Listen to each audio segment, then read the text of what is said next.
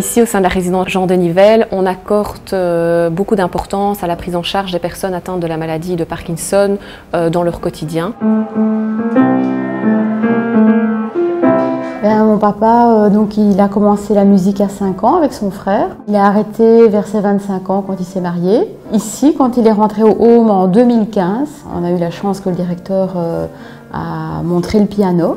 Et directement, il s'est dit tiens, je vais réessayer.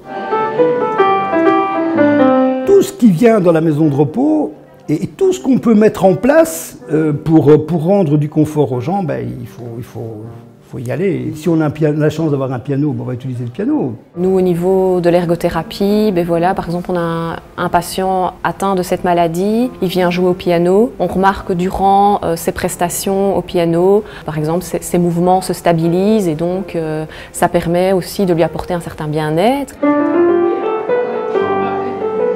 Cette concentration qu'il met dans l'écoute de morceaux de musique via son ordinateur et la retranscription euh, sur le piano ici ou le piano dans sa chambre, c'est salvateur. C'est vraiment euh, pour son côté maladie de Parkinson, c'est vraiment quelque chose de positif.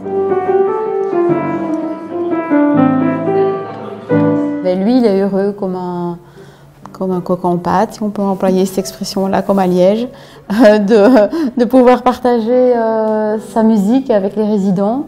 Ça, c'est l'avantage en maison de repos, c'est que le fait de jouer devant d'autres personnes qui viennent les écouter, ça veut dire qu'on met la personne en évidence. Ça veut dire que l'individu prend toute son importance. La maison de repos devient vraiment un lieu de vie et pas un lieu de, de mort comme on, le sous-entend, ce qui est tout à fait faux.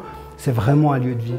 Mon papa, il a toujours été assez rythmé dans sa vie et je pense que la musique euh, continue à atterrir parce que c'est vrai. Hein.